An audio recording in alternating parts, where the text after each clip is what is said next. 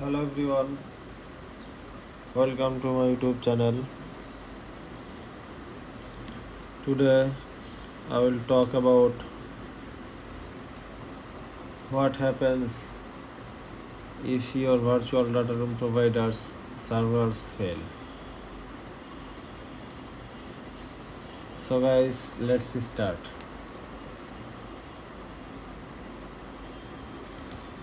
Imagine that you are at critical phase of due diligence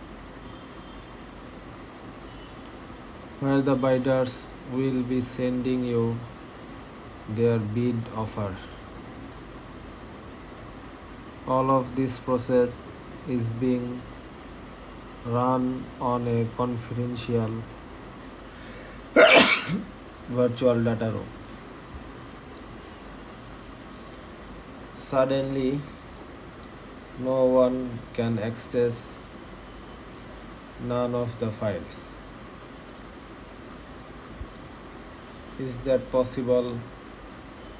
Can it be that the servers of your virtual data room provider failed without worrying, leaving you stuck at a crucial stage?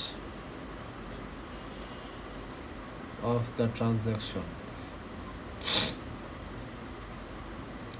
A leading virtual data room provider will always evaluate scenarios and have plans to ensure that they are always prepared.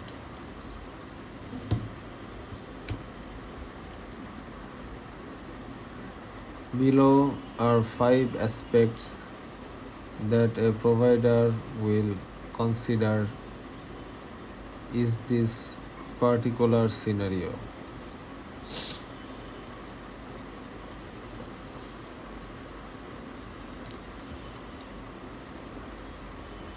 Good virtual data room providers have structures with built-in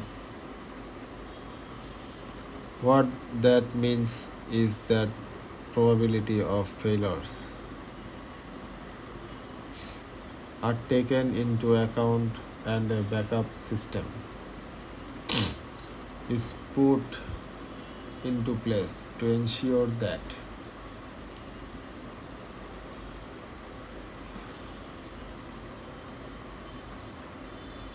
what that means is that a failure are taken. So guys that's it. Hope you will understand this topic. Thank you everyone.